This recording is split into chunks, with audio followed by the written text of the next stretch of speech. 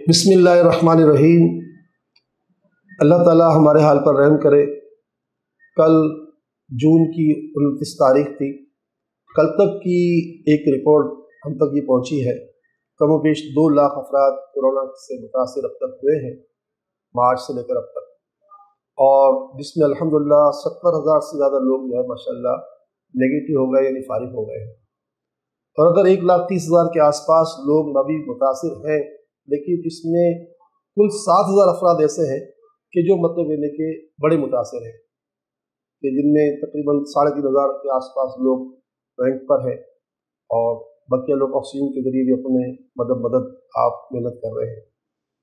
तो जो सत्तर हज़ार से ज़्यादा लोग फारिग हो चुके हैं, मैं उनसे एक अपील करूँगा कि वो अपना प्लाज्मा दें। यकीनन एक आदमी का प्लाज्मा जो है, दो आदमी को अलहमदिल्ला जान बचाने का सबब लगता है। और हदीस पाक में आता है कि तुम्हारी वजह से अगर किसी एक की जान बच गई तो समझ लो तुमने रूए ज़मीन के इंसानों की जान बचा ली। तो जो अहबाब अपना प्लाज्मा देना चाहते हैं, मेरी दरख्वास्त है कि सैलानी वेलफेयर से रबता करें।